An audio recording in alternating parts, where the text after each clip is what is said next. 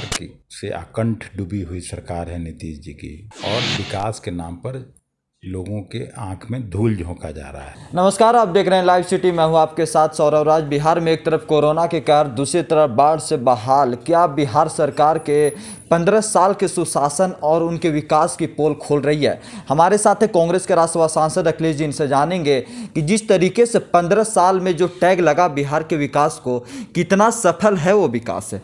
एक तरफ़ कोरोना का कहर जिस तरीके से हर एक ब्यूरोक्रेट्स के ऑफ़िस तक कोरोना पहुँच गई दूसरी तरफ़ बाढ़ से कह सकते हैं कि जो उत्तर बिहार है पूरी तरह डूब चुकी है। क्या बिहार में विकास का जो टैग था वो खत्म हो गई, सर?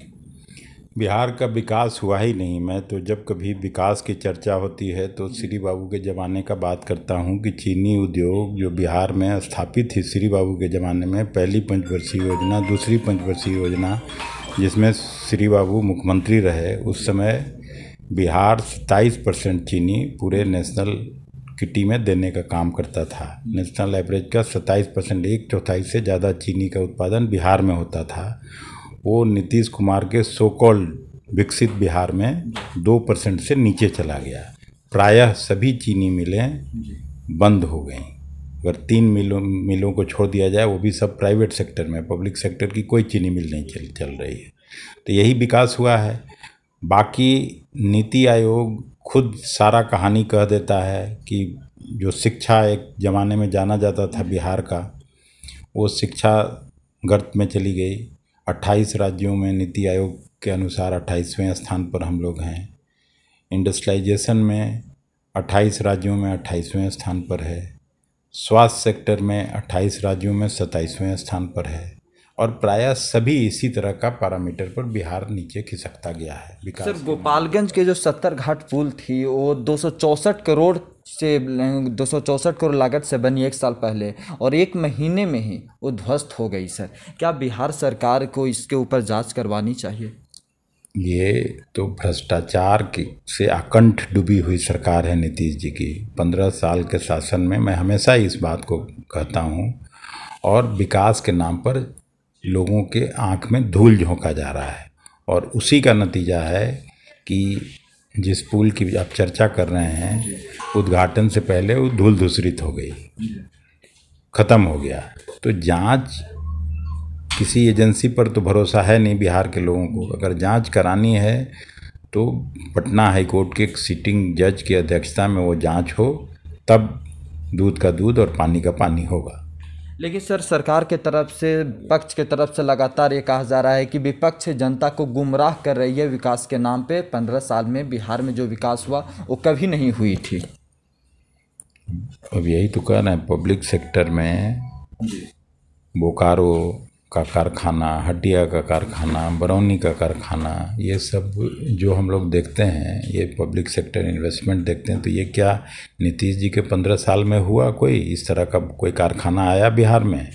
सब लोग कहेगा कि नहीं, कोई नहीं आया। केवल कहने के लिए लीपा पोती हुआ है, बिल्डिंग बड़ा बन गया कमीशन खोरी उसके नाम पर हो रहा है। यही विकास हुआ है। सुशील कुमार मोदी का कहना है कि कुछ लोग चुनाव चुनाव कर रहे हैं बिहार में इसलिए चुनाव की बात को छोड़ करके कोरोना से लड़ने में सरकार की मदद की जाए। कोरोना से लड़ने में सरकार को मदद करनी चाहिए। लोग थोड़े ही मदद करेंगे। लोग तो उससे प्रभावित हो रहे हैं कालकलवित हो रहे हैं बीस हज़ार से ज़्यादा लोग। और आज स्थिति ऐसी बनी हम लोग जिस समय शुरू में डिमांड करते थे कि यहाँ पे सबसे कम टेस्टिंग हो रहा है। कहीं भी जहाँ भी सफलता मिला है लोगों को दुनिया के देशों में तो वहाँ ज़्यादा से ज़्यादा टेस्टिंग कराया गया। Bihar second third most populous state है। दूसरा तीसरा जनसंख्या के हिसाब से बड़ा राज्य है बिहार उत्तर प्रदेश और महाराष्ट्र के बाद। लेकिन सबसे कम अगर कहीं टेस्टिंग हुआ है बड़े राज्यों में तो वो बिहार है। कहीं पटना के बाद मैं स्वास्थ्य विभाग का मंत्री रहा हूँ दस पंद्रह साल पहले, मुझे मालूम है कि कहीं भी इंफ्रास्ट्रक्चर स्वास्थ्य विभाग का केवल दिखाने के लिए है, न डॉक्टर की उपस्थिति सुनिश्चित कर पाए हैं लोग, सुदूर जिलों में, जिला अस्पताल में या ब्लॉक हॉस्पिटल्स में। न नर्सेज हैं न टेक्निकल स्टाफ है। लेकिन सरकार तो, कह रही है कि हर तरह की सुविधा दी जा रही है कोरोना मरीजों को कोरोना से लड़ने के लिए। सुविधा तो इतना है कि नीतीश जी के मुख्यमंत्री निवास में जहाँ रहते हैं वहाँ कोरोना ने दस्तक दिया और उनकी शायद भतीजी कोरोना पॉजिटिव पाई गई। कई सारे स्टाफ को कोरोना पॉजिटिव पाए गए। गवर्नर हाउस के बहुत सारे स्टाफ कोरोना पॉजिटिव पाए गए। उनकी सहयोगी पार्टी भारतीय जनता पार्टी के दफ्तर में जब जाँच हुआ तो वहाँ सौ में से पचहत्तर लोग कोरोना पॉजिटिव हो गए। भारतीय जनता पार्टी के जो बिहार शाखा के अध्यक्ष हैं, संजय जायसवाल जी और उनका परिवार, उनकी माता जी और वाइफ सब कोरोना पॉजिटिव हो गए। तो यही तो सुविधा दी जा रही है। जब इन लोगों के साथ ऐसा हुआ काउंसिल के चेयरमैन हैं अवधेश नारायण सिंह जी, वो कोरोना पॉजिटिव हो गए, उनका परिवार कोरोना पॉजिटिव हो गया। तो बाकी लोगों के साथ क्या होगा इसका अंदाज़ा लगाया जा सकता है। शुक्रिया सर थैंक थैंक यू सरकार की से अकंठ डूबी हुई सरकार है नीतीश जी की और विकास के नाम पर लोगों के आँख में धूल झोंका जा रहा है।